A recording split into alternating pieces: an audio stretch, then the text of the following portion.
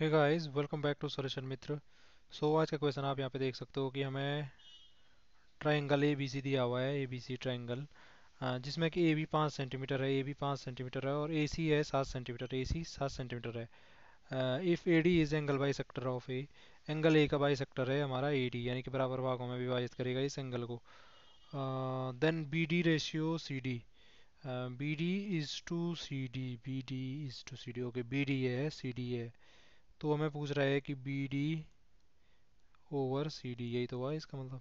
B D ratio B D is to C D का मतलब यही हुआ कि B D over C D करना। तो कैसे करेंगे भाई इसको? सबसे पहले देखो, यहाँ पे एक चीज़ पता होनी चाहिए आपको कि जब भी हमारा, इसको एक प्रॉपर्टी के रूप में आप देख सकते हो मतलब याद रख सकते हो रिमेंबर कि हमारा इस प्रकार से एंगल वाई सेक्टर होता है, जो किसी भी ट्रायंगल में, ठीक?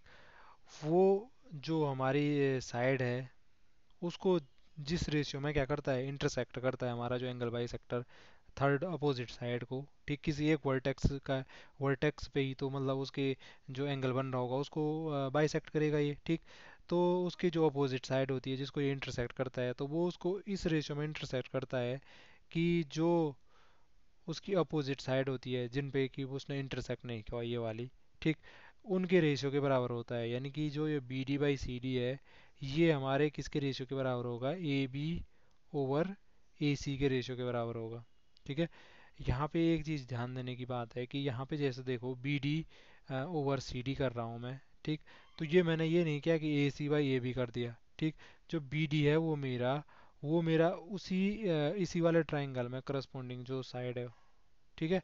उसी के रेशियो मतलब इसी है, इसी ट्रायंगल में जो साइड बच रही है उसकी रेशियो और जो ये वाला ट्रायंगल बन रहा है ये वाला, इसमें जो साइड है, ठीक, और जो साइड बच रही है ये वाली, ठीक, इसका रेशियो क्योंकि ये वाली साइड तो दोनों में कॉमन है ये दोनों ट्रायंगल में।